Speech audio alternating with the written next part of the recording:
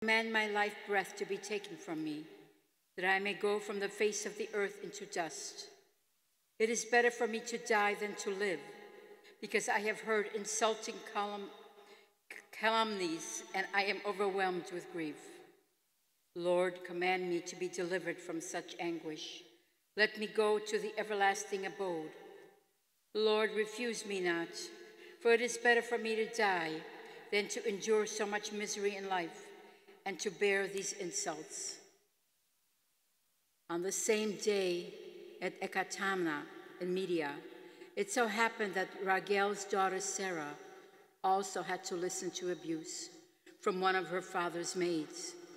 For she had been married seven, to seven husbands, but the wicked demon Asmodeus killed them off before they could have intercourse with her, as it is prescribed for wives. So the maid said to her, You are the one who strangles your husbands. Look at you. You have already been married seven times, but you have had no joy with any one of your husbands. Why do you beat us? Is it on account of your seven husbands? Because they are dead? May we never see a son or daughter of yours.